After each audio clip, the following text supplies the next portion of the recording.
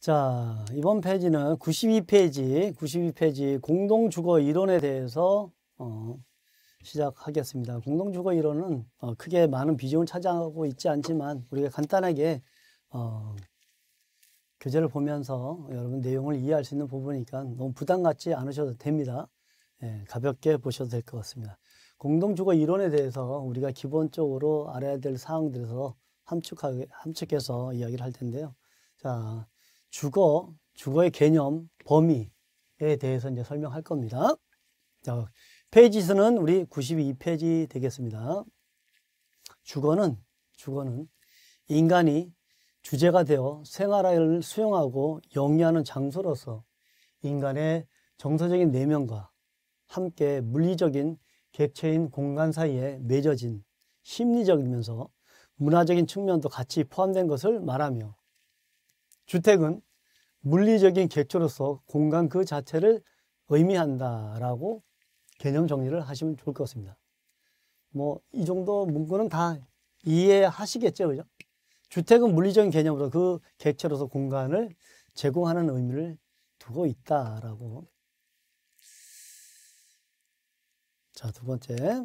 주거의 범위는, 주거의 범위는 인간의 개인 생활은 물론 가족 공동 생활, 이웃 생활, 지역 생활 등의 공동체로서 사회 생활까지 영역을 확대해서 이를 풍요롭게 하는 장소이다. 주거의 범위는 넓게 확대하는 거죠. 그래서 우리 아파트에 보면 주거죠. 많은 사람들이 함께 공존하면서 생활하고 있죠.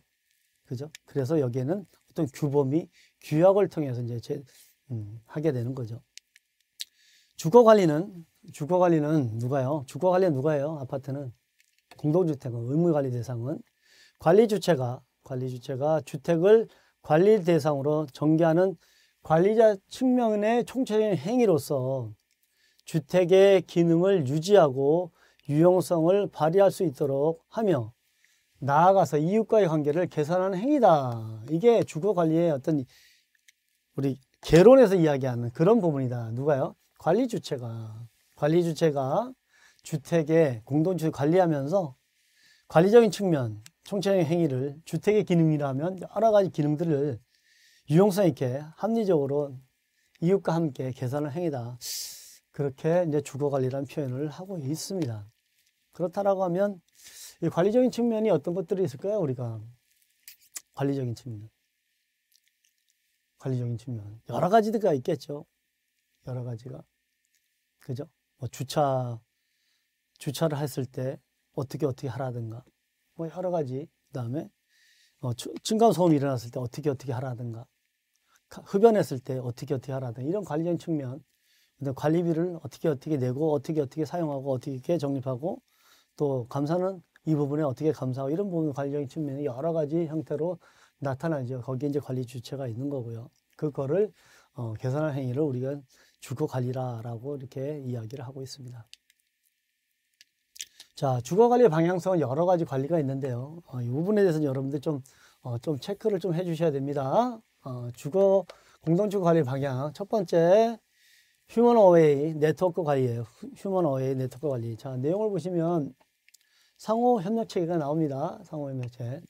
공동주택 주거 문화의 향상을 위하여 거주하는 자는 주거 관리에 대한 관심과 인식을 제고하고 관리자는 자질과 능력을 향상시켜 리더십을 발휘함으로써 주민은 물론 관리회사, 지자체와의 상호 협력, 협력 체계가 원만하게 이루어지도록 하는 휴먼 어웨이 네트워크 관리가 필요하다.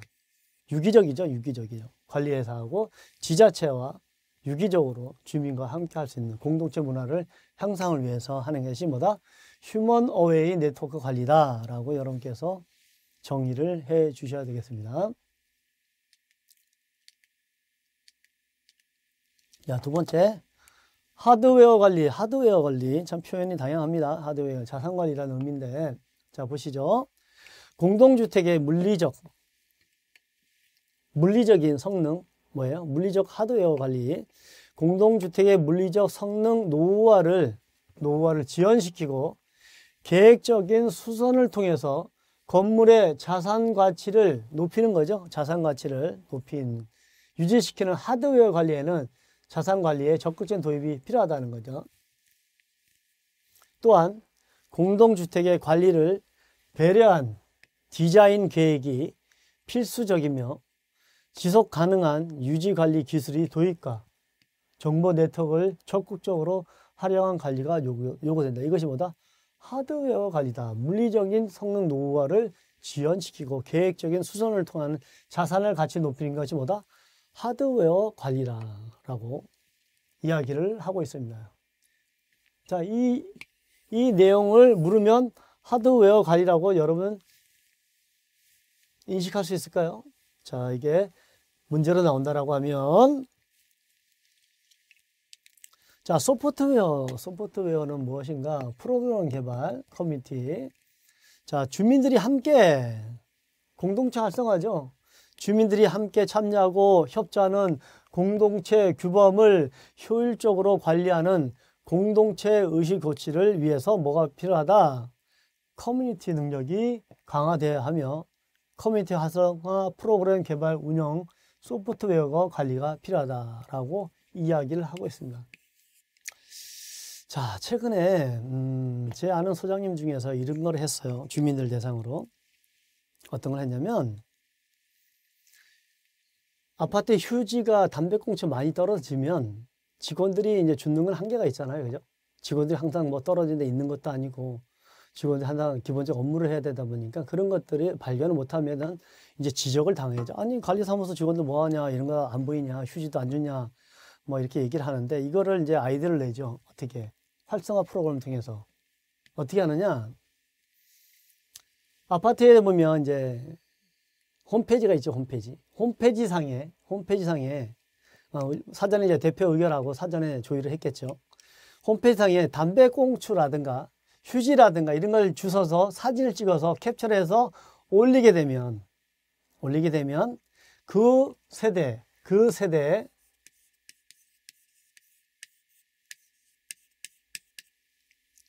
뭐를 주느냐? 포인트를 줍니다. 포인트. 어떤 포인트? 어, 여러 가지가 있겠죠. 어, 여러 가지가 있습니다. 이런 여러 가지를 상품으로 만들어서 주민이 자발적으로 직원들이 관리하지 못한 부분도 주민들이 자발적으로 참석할 수 있게끔 프로그램을 만들어서 우리 홈페이지에다 올리게 되면 그거를 올린 것을 누가 입주자 대표에서 심사를 해서 그 세대에 거기는 머그잔이더라 머그잔 머그잔이나 기타 뭐 어, 여러 가지가 있더라고요. 그거를 이제 제공해 주더라고요 일부를. 그래서 이런 식으로 주민들이 참석 참여할 수 있게끔 어떤 소장님께서는 이렇게 아이디어를 하셔서 하는 걸 제가 봤는데 어, 이런 개념이죠 이런 식으로 해서 주민들이 자발적으로 참여할 수 있고 또 우리의 영역에서 부족한 부분들을 주민들이 대체할 수 있는 것들을 어, 아이디어를 내 가지고 소프트웨어 관리를 하는 거죠 참 좋은 아이디어인 것 같아요. 제가 그거 보고 참신한 아이디어라서 참 어, 새로 받게 됐는데 아, 그런 부분들도 있습니다. 또 하나는 새, 새죠, 새. 매 새에 때는 아파트 옥상에서 뭘 하냐면 어, 해맞이 행사를 합니다. 해맞이 행사. 그래서 주민들이 오게 되면 오게 되면 이제 나눠 지역 구역을 동별로 다 틀리니까 직원들이 이제 참여하면서 거기서 뭐냐 떡국 떡국을 어, 준비해서 거다가 이제 오뎅국까지 준비해가지고 해맞이 보는 분들을 그때는 이제 옥상을 다 개방하는 거죠. 그 단지 옥상을 다 개방해서 다는 못하고 해를 잘 볼 수 있는 공간 몇 군데만 직원들 미리 가서 어, 떡국하고 오뎅국을 끓여서 오는 분들한테 참여하시는 분들한테 주민들한테 제공하는 그런 거를 저도 봤는데 참 그런 활성화를 통해서 주민 간에 소통하는 부분이 참 좋았던 것 같아요. 그래서 여러분들도 어, 나중에 현장 소장으로 가시게 되면 그런 역할을 한번 하시기 바랍니다. 자, 자원 낭비로부터 환경 보호. 자, 이 부분이 뭐예요? 관리를 잘하면 관리를 잘하면 우리 아파트 수명이 늘어나죠. 그죠? 30년 갈 거. 보통 우리 40년 건축 주기에 40년 얘기하는데 현장에서 40년 가지고 하게 되면 여러 가지 부작용이 있기 때문에 50년, 60년 잘 관리하라고 그렇게 안내를 하고 있습니다. 자, 보면 자원 낭비로부터 환경 보호, 지속 가능한 주거 환경을 정착하기 위해서는 오히려 이러한 재건축으로 인한 단절보다는 주택의 수명을 연장시키고 연장시키고 오랫동안 이용하도록 거주할 수 있는 관리를 모색을 무엇보다 요구되고 있죠. 특히 공동주택은 건설 시에 대량의 자원과 에너지를 소비하고 되고 나중에 제거 시에는 대량의 폐기물이 발생되기 때문에 환경 부하에 영향을 주기 때문에 주택 연장은 반드시 필수적입니다. 우리가 주택관리 업무, 주택관리 소장으로서 관리 업무를 함에 있어서 어, 주택의 수명 연장 필수적이라고 볼 수 있죠. 따라서 건, 건설 초기부터 질렀고 견고한 공동주택의 건설과 함께 적절한 유지 관리가 무엇보다 필요하다. 이것이 뭐다? 자원 낭비로부터 환경 보호죠. 우리 세부적으로 들어가면 아파트에 어떤 것들이 있을까요? 자, 수선 유지비 있죠. 수선 유지비. 자, 수선 유지비를 통해서 뭐예요? 기능을 향상하죠. 수선 유지비를 통해서 건물의 기능을 향상시키죠. 수선 유지비. 또 하나 뭐 있어요? 장기 수선 충당금. 자, 수선 유지비는 주민들한테 입주자 등에게 소유자나 소유자나 입주자 등 소유자나 세입자에게 부과하는 게 수선 유지비고 소유자에게 부과하는 장기선 충당금도 여기에 해당돼요. 장기선 충당금도 뭐예요? 수명을 연장시켜. 특히 예를 들어 옥상, 아파트 옥상에 보면 뭐 있어요? 외벽에 뭐 있어요? 페인트 공사. 아파트 건물이 건축물로 구축되어 있는데 시멘트로 되어 있는데 물이 투수가 되면 어떻게 돼요? 경화가 일어나서 수명이 짧아지죠. 그래서 뭘 합니까? 옥상에는 방수를 하죠. 시트 방수나 도, 고분자 방수를 하죠. 그리고 외벽에는 페인트를 칠하는데 이걸 뭘로 써요? 돈, 돈으로 쓰는데 그때 뭐예요? 장기수선 충당금을 통해서 수면 연장을 하죠. 그죠? 그리고 기타 내부적인 사, 부분에 대해서 수선 유지비를 통해서 관리를 하고 있죠. 그래서 우리 관리 주체로서의 수선 유지비, 장기선 충당을 잘 활용하여서 건물의 수면 연장에 대해서 우리가 적절히 대응하셔야 된다. 이렇게 이해를 하시면 그럼으로써 대형 폐기물이 발생하지 않도록 여러분께서 잘 관리하셔야 됩니다. 양질의 사회적 자산 현상. 주택은 양적으로나 질적으로나 공동주택 사회의 자산으로서 풍요로움이 더해 갈 것으로 예상됩니다. 따라서 성숙된 사회로 발전을 위해서는 사회 변화, 생활 변화에 대응하면서도 쾌적하게 오래 살 수 있는 주택 수독 대책으로서 적절한 유지 관리가 필수적이다. 뭐 당연한 거죠, 그죠?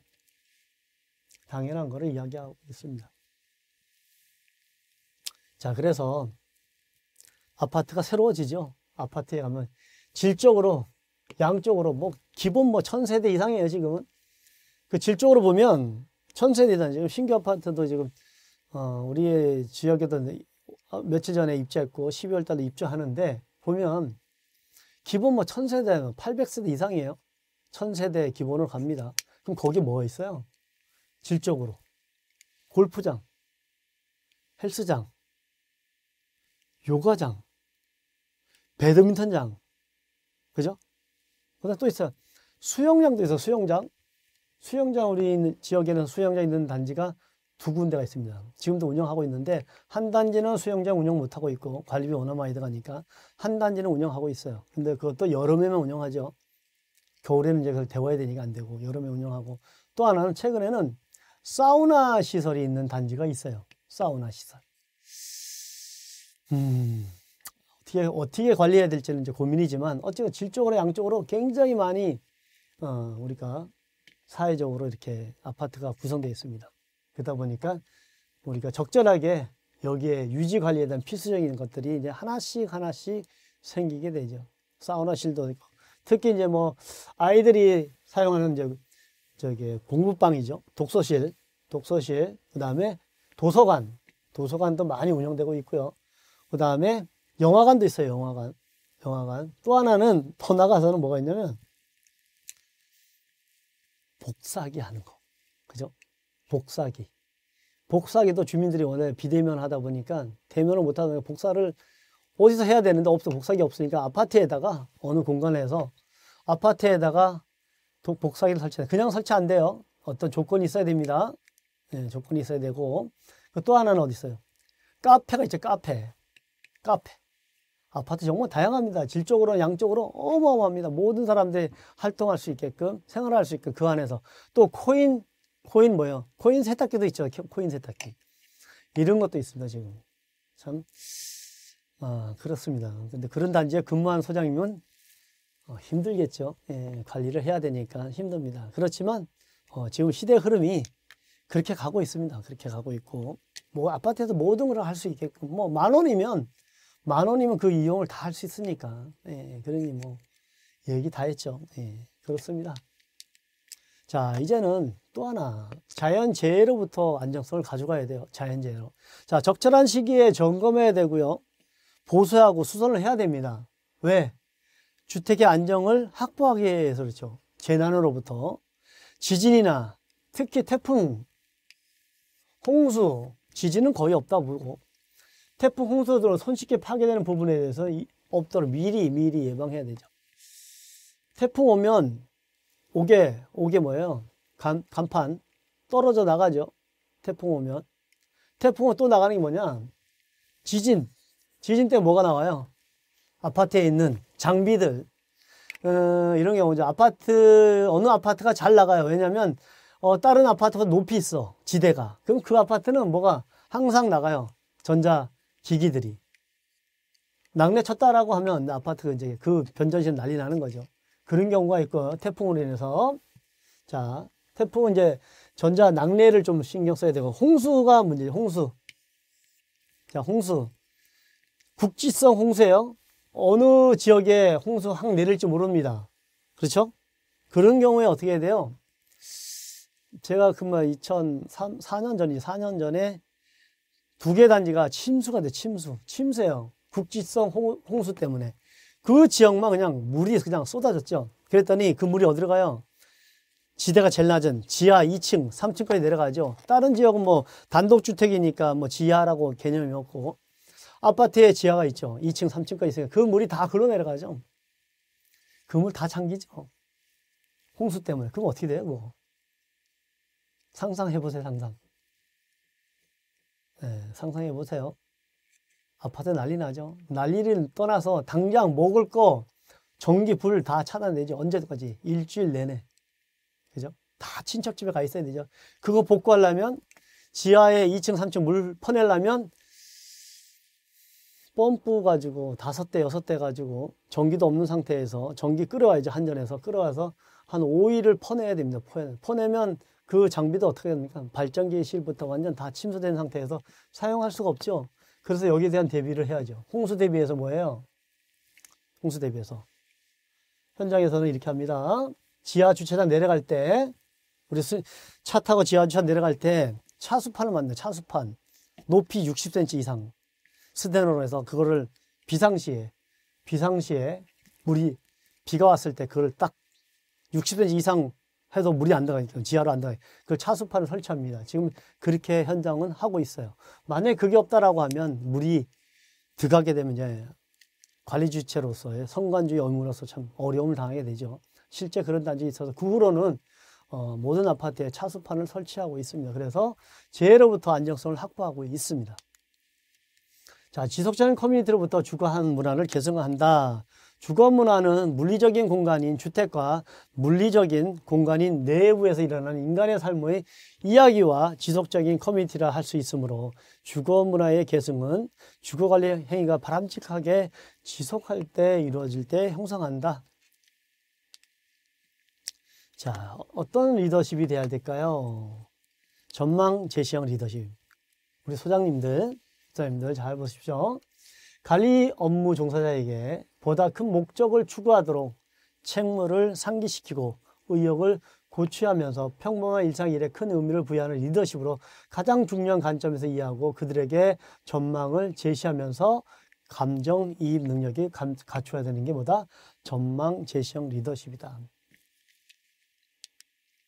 자, 민주형 리더십. 대화나 면담을 통해서 업무자들에게 의견을 경청하고 참여와 위임을 통해서 자발적으로 자발적으로 반발이 있지 않은 상태에서 참여의 의기를 높이죠. 우리 소장님 중에서는 또 이런 분들도 있어요. 직원들 간에 이간질하는 분들도 있어요. 특히 회계 담당자하고 직원들 간에 우리 직원들이 일하는 일을 나한테 다 보고해. 누가? 회계 담당자가. 그러면 그게 나중에 사실관계가 확인되죠. 분명히 그런 관계가 있다라고 하면 시간이 지나면 확인됩니다. 그죠? 그런 일을 하시는 분들이 있어요. 우리 직원들이 나한테 뭐라 얘기하는지 그거를 우리 회계 담당자는 나한테 다 얘기해. 그죠? 그런 경우도 있어요. 그렇게 되면 직원들한테 나중에 예, 직원들이 소장님의 자리를 만들어 줍니다. 그죠? 자, 민주형, 지시형, 지시형. 관리 종, 종사자에게 상세하게 설명하기를 꺼리고 고압적인 뭐예요? 자세를 유지하는 리더십으로서 거의 모든 상황에서 가장 효과적, 효과가 가장 나쁜 유형으로 이해되고 있다. 모든 상황에서 가장 효과가 나쁜 유형으로 이해되고 있는 게 지시형 리더십이다. 이런 소장님들도 계셔요. 사사건건. 우리 아파트에 가면 소장님이 계시고 회계 담당자가 있고 관리과장이 있고 어, 기계실 직원들이 이렇게 분류가 파트가 나눠져 있죠. 근데 모든 것들을 소장님께서 일일이 다 배워서 가려고 하시는 소장님이 있어요. 분업하면 좋은데 소장으로서 소장의 역할을 하고 있고 과장으로서 그 역할을 있고 직원으로서 그 역할이 있고 우리 회계 담당자로서 그 역할이 있는데 우리 소장님께서 못 믿으신 거죠. 그래서 일일이 지시를 하는 경우가 있어요. 참 피곤하게 사신 분도 있고 이것이 또 합적, 합리적이다 판단하는 소장님들도 있습니다.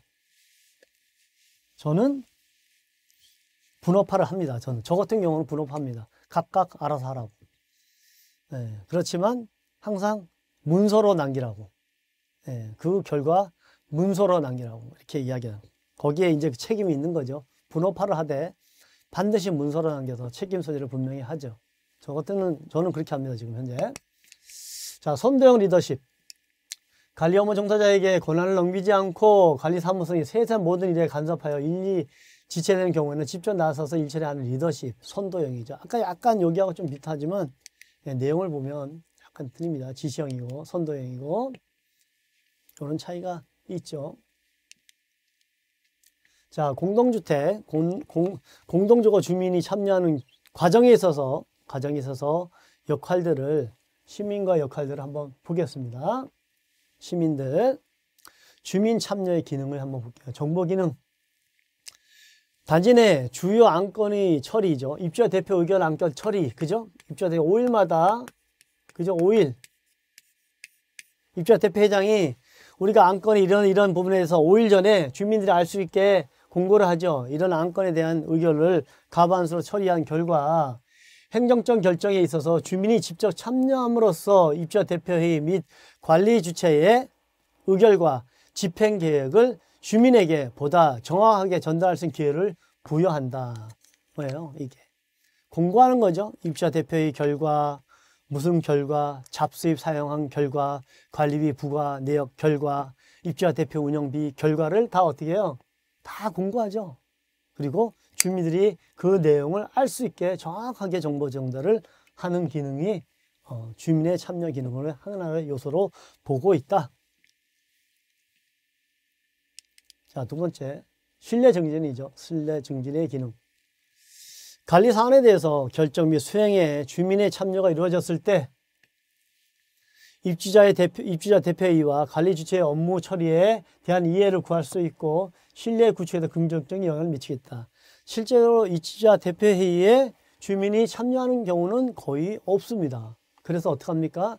입주자 대표회의에서 방청 의사를 묻죠. 혹시나 오늘 대표회의를 하는데 여기에 참석할 수 하고자 하는 사람은 신청서를 관리사무소에 제출하게끔 돼 있죠.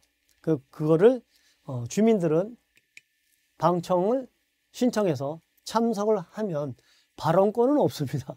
발언권 없어요. 그냥 참석만 의미가 있습니다. 참석해서 혹시나 발언하고 싶다라고 하면 회장님한테 어, 질문을 할 수 있는데 발언권은 기본적으로 없는 상황입니다. 그래서 참석은 할 수 있는데 발언권은 없죠. 신뢰 중지 기능입니다. 자, 통제 기능. 주민 참여는 의결 결정권자인 입주자 대표회의를 감독하고 관리 업무 수행의 주체인 관리 주체에 대해 견제할 수 있다. 이게 누구예요? 감사죠, 감사. 그래서 감사가 주민의 임원이니까 주민의 투표에 의해서 감사가 선출이 되는 거죠. 그런데 주민들이 개인적으로 할 수는 없죠. 그렇죠?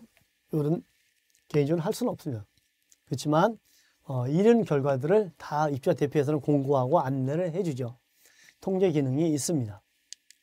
이해 조정의 기능, 주민 참여는 주민 참여는 주민 간의 이해관계가 보다 쉽게 조정될 수 있는 기회를 부여하죠. 많은 사람들이 참여해서 이야기를 나누다 보니까 각각의 의견들을 취합하고 조정할 수 있는 그런 기능이 생기죠. 그렇죠? 그래서 음, 주민들한테 설득력을 가져갈 수 있는 부분이 있는 거죠. 자, 그렇지만 역기능도 있다는 거죠. 역기능, 다음과 같은 문제가 발생될 수 있죠. 어떤 기능? 모든 관리 사안에서 주민이 참여하는 경우는 그 처리가 늦어질 수 있죠. 그래서 뭐가 있어요? 입주자 대표회의가 있죠. 입주자 대표회의. 즉, 운영상에서 비효율성이 초래될 수 있는 것이죠. 그래서 입주자 대표회의가 있고요. 또 하나, 아파트는 분여회가 비, 분여회는 뭐죠? 그냥 공동체 활성화의 어떤 단체지요, 단체. 그죠? 기능이 게 아닙니다. 그냥 단체일 뿐입니다. 그 다음에 운영상의 비효율성이 초래를 할 수 있다. 또한 가지 집단 있죠. 두 번째. 주민 간의 의견이 조정되지 못한 경우도 생기겠죠. 그죠? 그러면 갈등이 생기고 보다 오히려 갈등이 생길 수 있어요. 그래서 입주자 대표의 의견을 안내를 하고 그 절차에 대해서 어, TV 생중계도 합니다. 근데 대표님들이 부담 갖죠. 대부분 아파트가 지금 입주자 대표회의를 어, 기본적으로 녹음을 하든가 아니면 TV를 생중계를 하죠. 그런 경우가 많이 늘어나고 있습니다. 그러다 보니까 주민들이 아 이런 부분에 의결했고 이런 부분에서 지금 이런 부분 이해 못한 부분이 있다라고 하면 이제 생방송을 통해서 어, 그렇게 돼야 되겠죠, 그죠? 공정하게 누구나 볼 수 있게끔 자 그렇게 된다면 이런 문제를 어, 해결할 수 있는 문제가 생기는 거죠. 자, 또 하나 주민의 개인적인 견해와 자기 중심적인 이해가 지나치게 반영될 경우에는 그런 사람이 있어요. 이거 꼭 통과시켜 달라고 아주 막 대표 회장 찾아가서 나 이거 안 하면 막 들어눕는다 이제 이런 경우에 주민 전체 이익과 객관성이 문제가 될 수 있죠. 특히 뭐 우리 단지 우리 집 앞에 뭐뭐 뭐 이런 거 해달라고 특히 소수의 참여자가 강력한 영향을 행사하는 경우 이런 경우가 더욱 높아지죠. 그게 누구요? 대표들이 그렇게 하죠. 대표들이 대표들이 그렇게 하죠, 대부분이. 대표들은 그 지역의 그 선거구의 대표성을 가지고 그 역할을 해야 되는데 거꾸로 오히려 이런 역할을 하는 경우가 대표들 간에 있습니다. 자. 초소 정보통신 건물 인증에 대한 내용입니다. 자, 인증 대상은 건축법에서 20세대 이상인 경우에는 그 다음에 연면적이 3,300제곱미터 이상인 경우에는 뭐 한다? 초고속 정보통신 건축, 건축물 인증 대상이 된다. 이 정도 가볍게 보시기 바랍니다.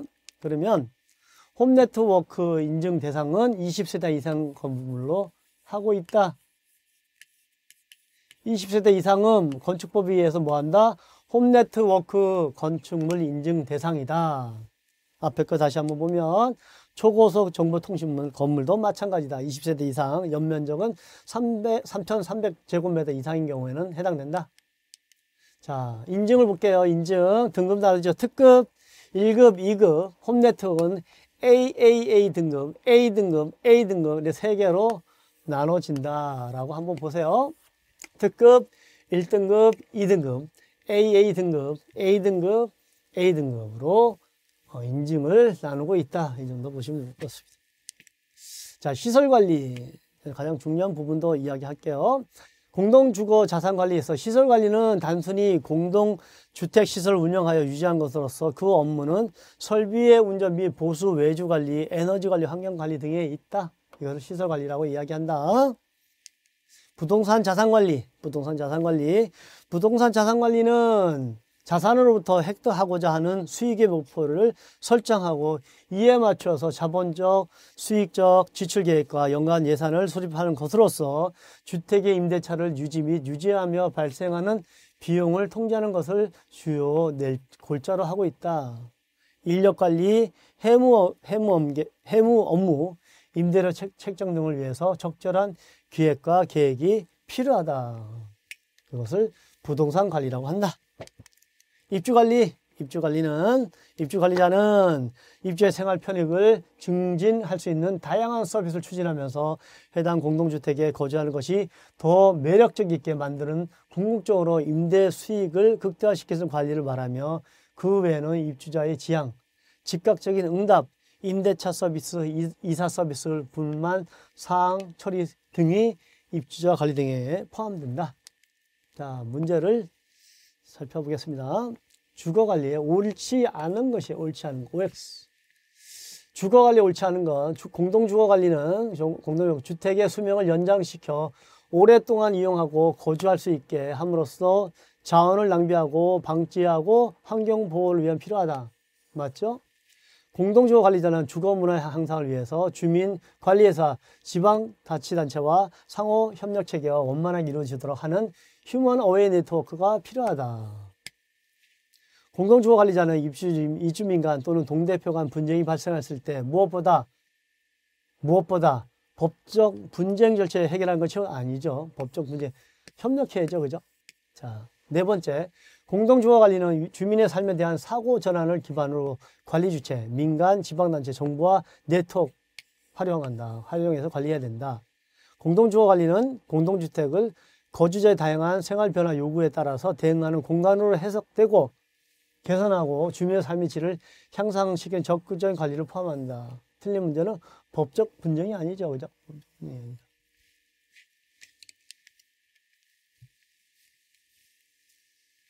자, 개념과 내용에 관한 설명 옳지 않은 것.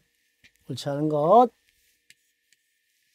공동주거 관리는 주민의 삶에 대한 사고 전환을 기반으로 관리 주체 협력해 네트워크를 해야 된다는 거 아까 나왔던 거고 공동주거 관리에 대한 소프트웨어 관리는 소프트웨어 관리는 물리적 영 물리적인 성향 노후를 지연시키고 계획전 수선을 통해 건물의 자산 가치를 시키는 소프트웨어 관리가 아니죠. 그죠? 소프트웨어 관리가 아니죠. 틀린 질문 같습니다.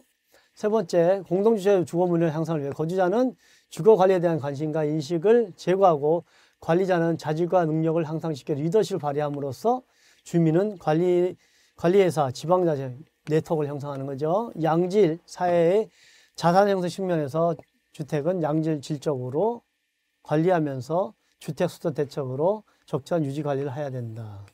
다섯 번째, 공동주거 시스템은 물리적 시스템 구축, 주민의 자율적 참여 유도를 위해서 인프라 교육하는데 개선되어야 된다.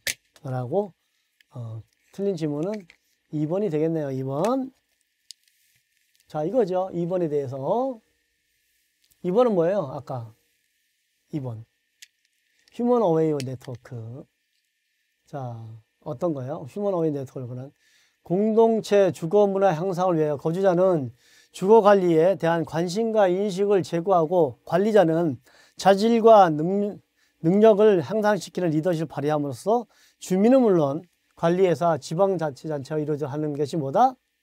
휴먼 어웨이 네트워크 관리다라고 정의를 하고 있죠. 자, 물리적 아까 나왔죠? 물리적 성능 노화를 지원하고 계획적 수선을 하는 건 뭐다? 뭐다? 하드웨어. 하드웨어 관리다. 하드웨어 관리. 하드웨어 관리다. 자.